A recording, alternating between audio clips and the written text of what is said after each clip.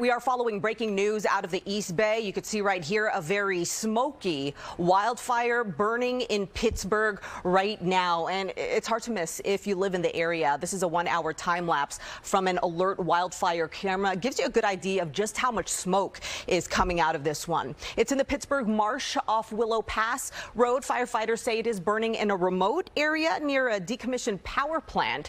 Uh, it started weeks ago, actually, had been smoldering until flaring up again today. Here's another view of that massive smoke cloud from the ground. This was shot off Highway 4 nearby, posted on Twitter.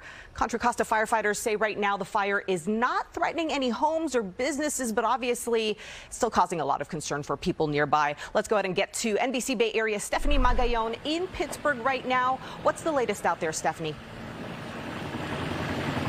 Well, I mean, you just said it, you know, there's no homes that are currently being threatened, no evacuations. However, as you can see, the fire is generating a lot of smoke, and that's because there's a power plant right here that's surrounded by vegetation and palm trees, and some of those palm trees are actually on fire right now. Since about 12 this afternoon, Contra Costa County fire crews came out here to Willow Pass, Willow Pass Road after getting reports of smoke because of access issues, they couldn't get to the area generating the smoke immediately.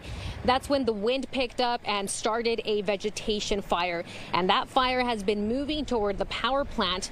But now what's interesting is firefighters say that this is actually a fire that's been smoldering since last month. This is an ongoing incident that you know started probably back mid-June. Uh, the fire's been smoldering uh, in an inaccessible location. And a combination of the winds, the heat, and again, the, the dried fuels allowed the fire to reignite.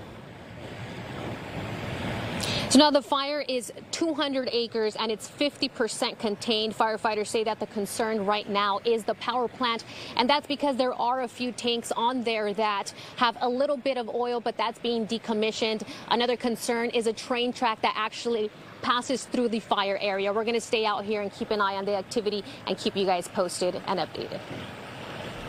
Stephanie, really appreciate that update. All right, Chief Meteorologist Jeff Ranieri is joining yeah. me now. So, Jeff, firefighters, they were hoping that this fire was just going to burn out on its own. Obviously, mm -hmm. winds just contributed to what's happening today. What are the conditions looking like for tonight? Well, it's even hotter tonight. Uh, you can see the fire again to the north and the east of Concord. So, uh, really, the dry brush and those warmer temperatures helping to fuel this fire. Let's go ahead and take you and get you a closer look at what I'm seeing right now on those conditions. And you can see it's primarily impacting Pittsburg, as we just heard from Stephanie. We have a hotter 88 today, winds coming out of the west at 17. So unfortunately, anyone around the Pittsburg area, the smoke is just going to continually to move over your region until they get a better handle on this. Tomorrow, even hotter, 94, uh, wind gusts anywhere of about 10 to 20 miles per hour.